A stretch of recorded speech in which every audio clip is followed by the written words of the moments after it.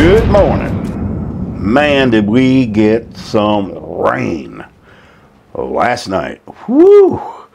It came down probably three, four inches, could be a little more, but it just kept coming and coming and coming.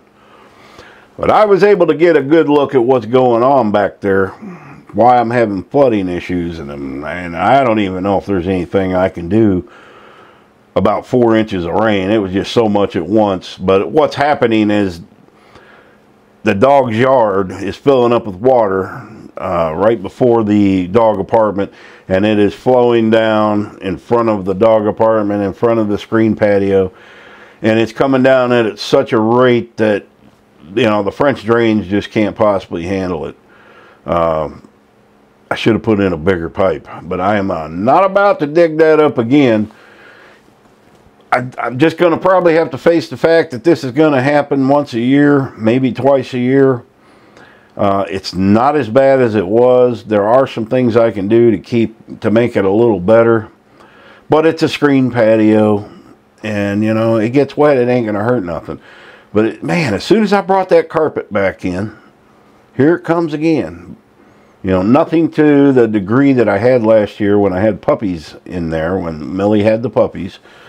But man, it is stressful. And aside from bringing in a dozer and leveling this whole place, which would be almost impossible to do with the house sitting here, you know, just going to have to deal with it. I'm sure they, whoever lived here before had to deal with it. So, you know, it, it was never, the land was never leveled properly when, before the house was built. So it is what it is. There, there's what I what I probably need to do now is just think of ways to deflect, reroute the water flow. And I think there's a few things I can do to do that. But man, it is sopping, sopping wet out there. Put a video up on this channel of that happening. So you probably watch that. Yeah. And you talk about loud, get under that carport when it's just monsooning. It is something else you can't hardly hear yourself think. So yeah, I don't think there's a whole lot I can do. It's it, it's not, yeah, I can put guttering up where the screen patio is. I do have it on the ground right now. Uh, and it's catching it. And I watch that. That's that's not the issue. It's where it's coming out of the dog's yard. So I have to stop the flow coming out of the dog's yard. Uh, then I think, you know, we're good. Because that whole place is like a bowl over there. It slopes this way, slopes this way. And it has to go somewhere. And water takes the path of least resistance. Yep. All right. I am in crisis mode right now. Yep. I have to leave here right after this to go to the store and I'm going to show you why.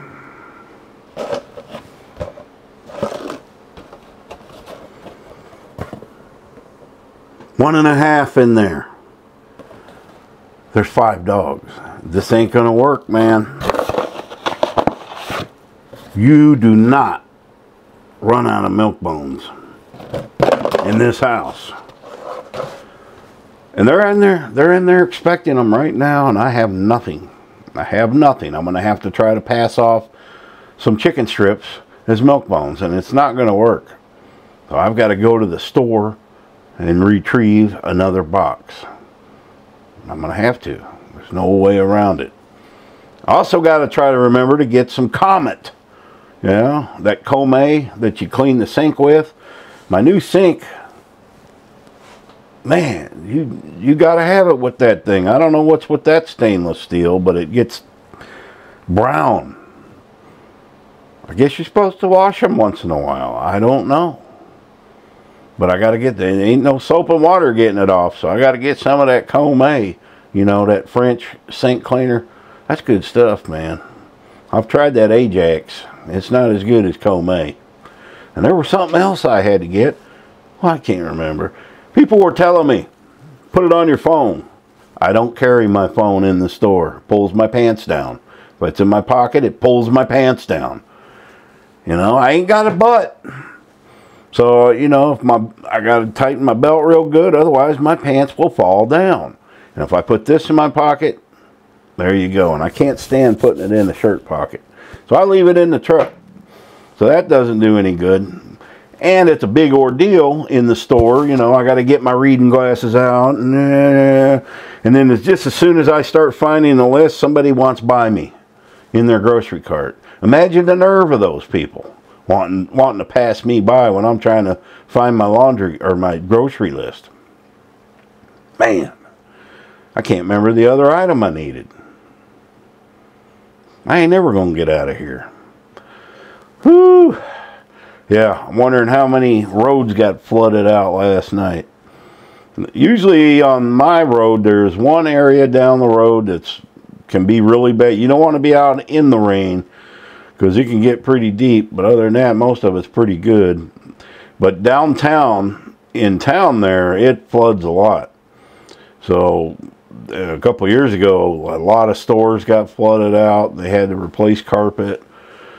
And, and it's pretty common here to have that kind of a spring. It's been pretty mild so far, but the, you know, floods are pretty common. And you got to remember, you're the, the whole area is surrounded by higher terrain, the mountains. You know, they're they're not Mount Everest mountains, but they're they're good size, or they wouldn't be called mountains. Uh, there is a criteria to be named a mountain. I think it's over a thousand feet.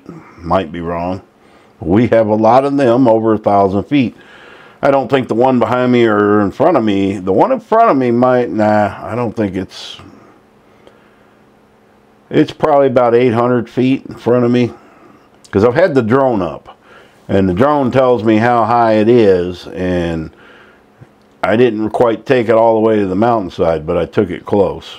Uh, I got to get that out and see if it's still any good because I wrecked it last time I had it out. I've come to the conclusion I don't need to be flying drones. It's I don't know. You stick this thing on the controller. Not only do you got controls on your phone but they're on the controller and I totally, it had been a while since I flew it, and I totally forgot what I was doing, what operated what. The thing comes down, and I panic, and I hit stop, and then the, the drone quits, and I wrecked it. And, and then I, and it wouldn't shut off. Even after I hit that, it would land. I think what I hit was come home so it came down, it came down to land, and it wouldn't land. So finally I figured out how to get it on the ground, and, and it would not shut off. So I went to try to pick it up, and it knocked my knuckles real good. And yeah, so if I had any thoughts of buying a better drone or getting a good, no, I'm not doing it now. It's I'm, I'm no good at it. Can't do it. Leave that for the young YouTubers. I don't need a drone. Alright guys, just a short one today because I put one up last night. Most of y'all probably haven't seen it yet. This one didn't make much sense anyway. But I got to go get milk bones. And those of you that have dogs, you understand. The rest of you probably don't. But that's how it is. Happy trails.